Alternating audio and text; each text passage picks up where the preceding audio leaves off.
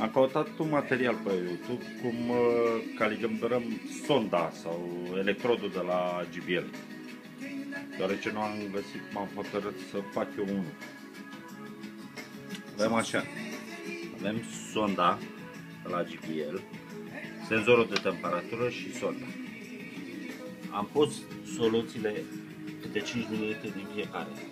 pH 7, pH 4, 5 ml și spălat.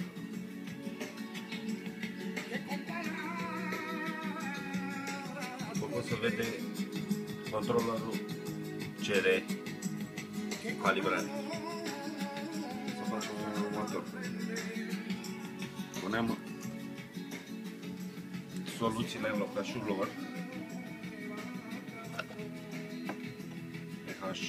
H7 4 H7 4 Stai aici. Le băgăm pentru spălare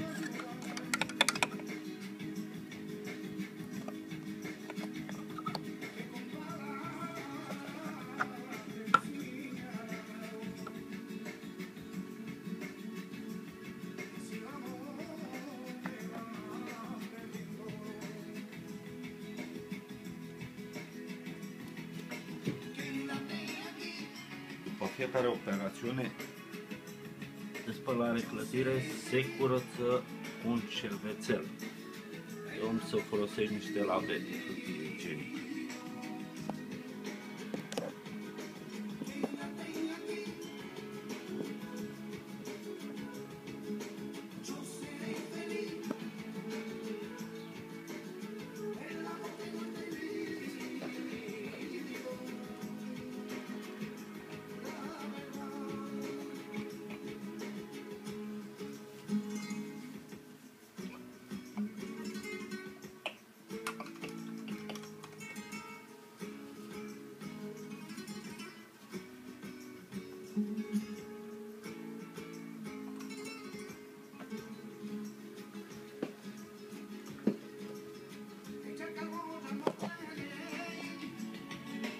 Acum calibrăm pH 7.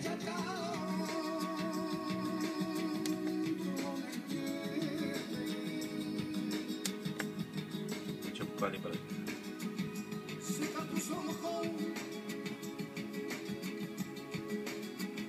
Și stăm așa cu ea, sonda, până facem 1800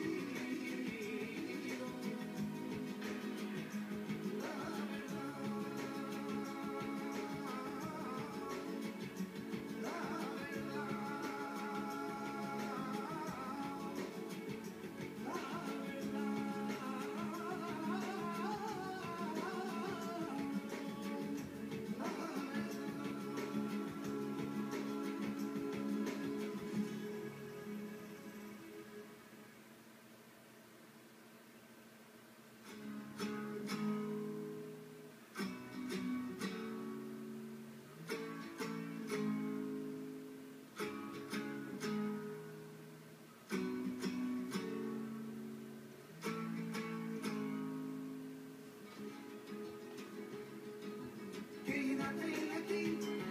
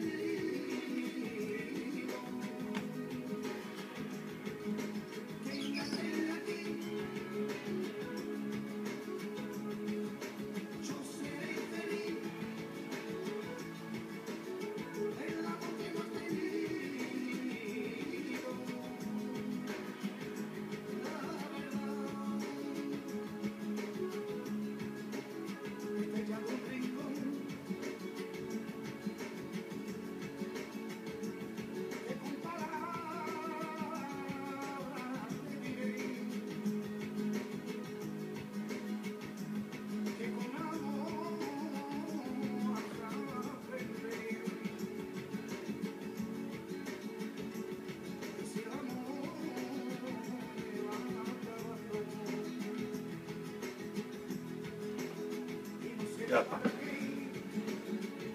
H4 șepte gata.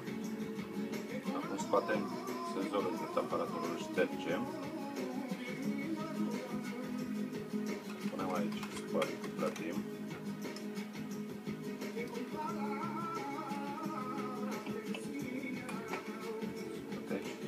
electrodul. Ștergem și pe asta.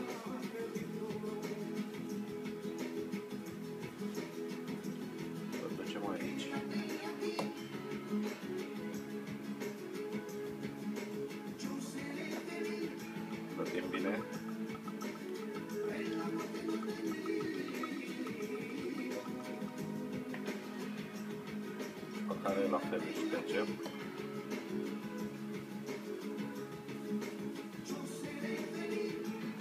pH 4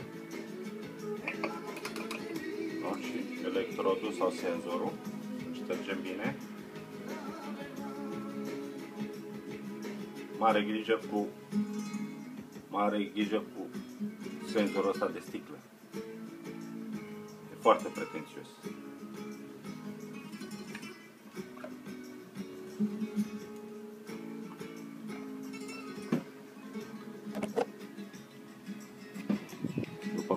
vă spuneam.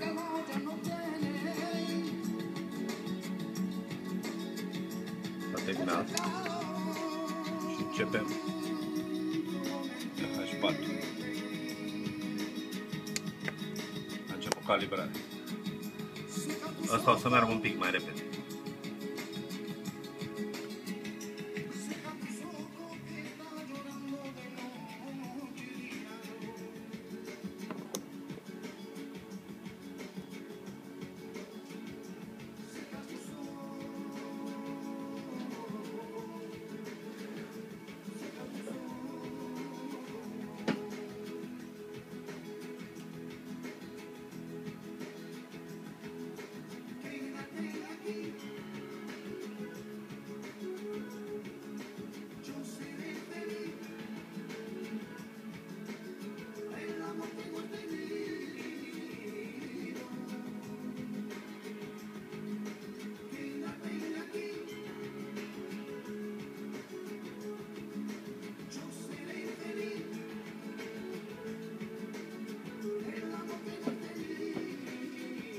S-a terminat și acum. S-a terminat și pe H4. Ștergem din nou senzorii. Introducem.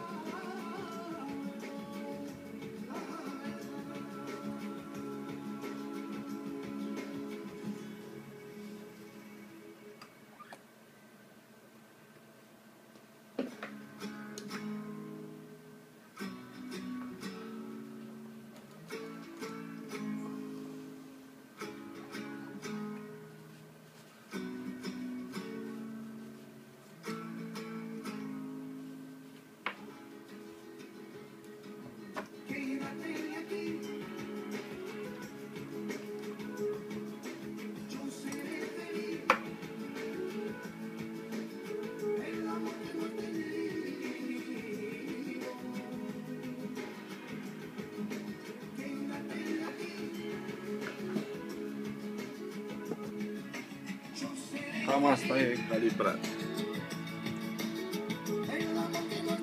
Calibrarea e ok, prețul ok. Și acum trebuie să introducem mâna. Aveți mare grijă atunci când o faceți. Tot senzorul de temperatură.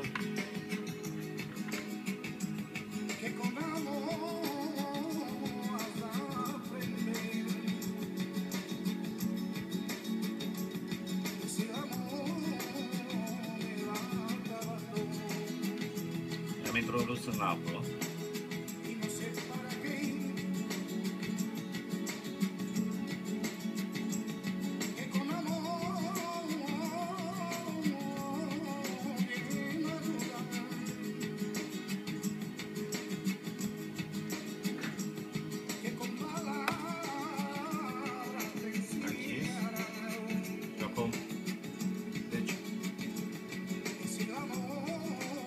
Mi-a pornit CO2 în alt baie.